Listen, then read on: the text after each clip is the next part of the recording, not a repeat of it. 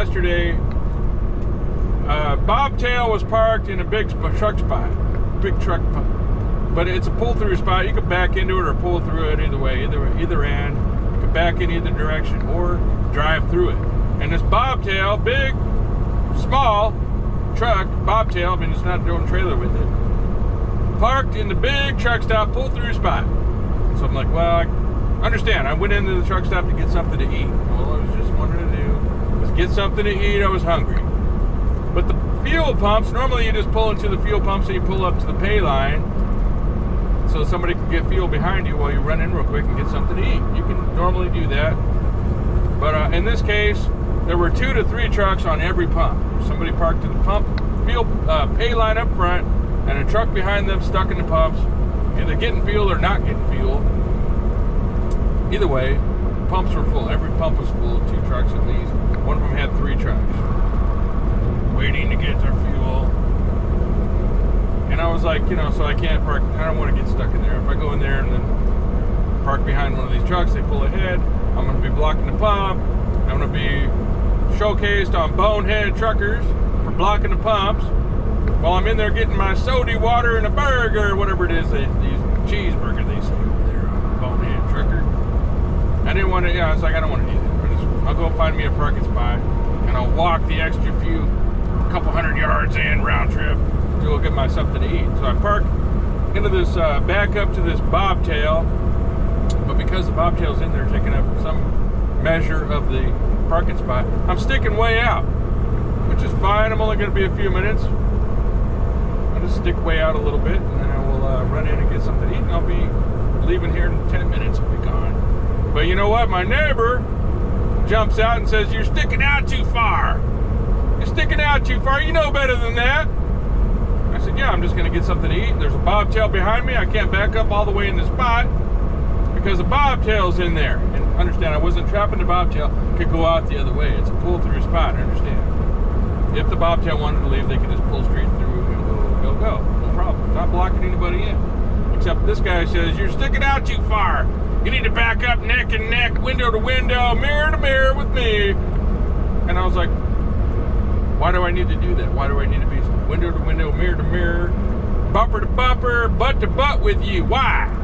Because that's what my trainer told me. I'm paraphrasing here. He didn't say that, but new breed, young blood, window licking steering wheel holders believe you got to be pulled in exactly mirror to mirror like they was trained to do by their little three-month trainer who had 90 full, 91 days of trucking and trained them to be a truck driver back, you know, 16 months ago when they was uh, when they got the CDL and they had to go to their big mega carrier trucking company to learn how to be a trucker. The 91 day super trucker wonder taught them how to be a super trucker real trucker out here.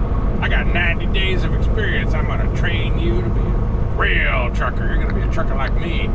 And you gotta be window to window, mirror to mirror, bumper to bumper, butt to butt out here in the truck stop when you park.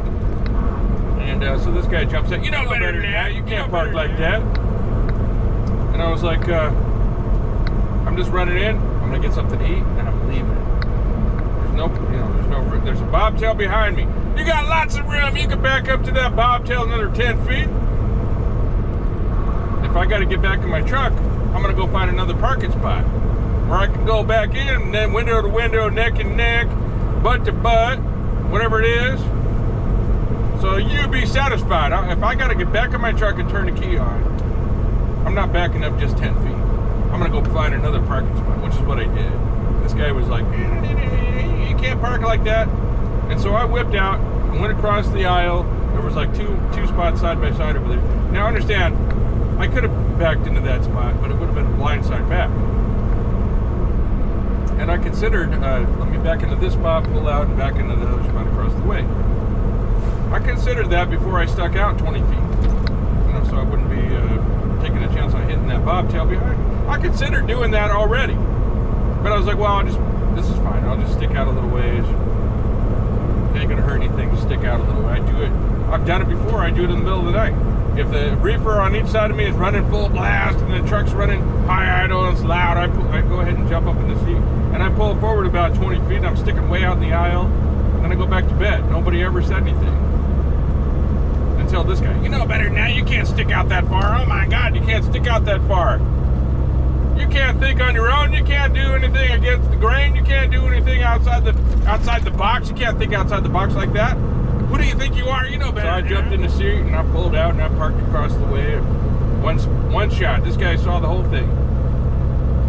Let me show this whippersnapper, young blood, new breed, window licking steering wheel holder, how it's done. I pulled out, whipped out, set up, I backed in next to that truck with a two spot hole, backed in in one shot, no pull ups.